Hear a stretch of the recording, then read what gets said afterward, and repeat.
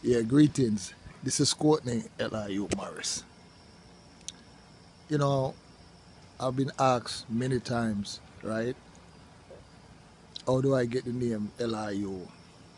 Well, Elihu given to me by my granddad, you know. Um, you know, uh, everybody mostly know me at first as Courtney Morris over the years, but um, you know, as as I start get more creative and the creativeness, you know, start elevate, you know, to different level of writing and so on and so on, and uh, changing up, making changes. I feel I needed I needed a, a name that represent me more as an artist, you know, instead of just Courtney Morris. You know, Courtney seems to be a regular name that a lot of people have. You know, as time goes on and I start pursue my career, I realize that I needed something more, more significant, more significant name.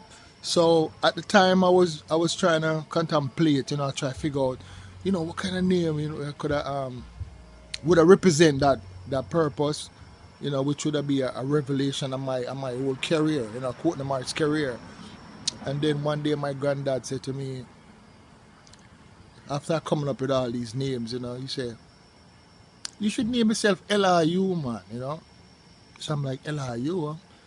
He said, yeah, man. He said, Elihu back in the days before Christ used to be this this this boy that go around and he tell the truth, you know, he speak the truth. That's what he was about.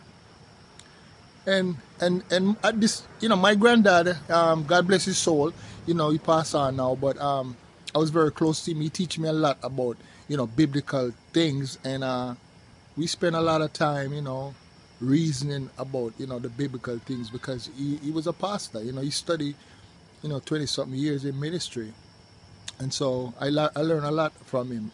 So he said, I see you as a Elihu, you know. He, he said, yeah, I see Elihu fit for you as, as an artist. If you're going to change, if you're going to put anything towards it, your name you have already, it should be Elihu. So I just, I just run with it, you know. Yeah, and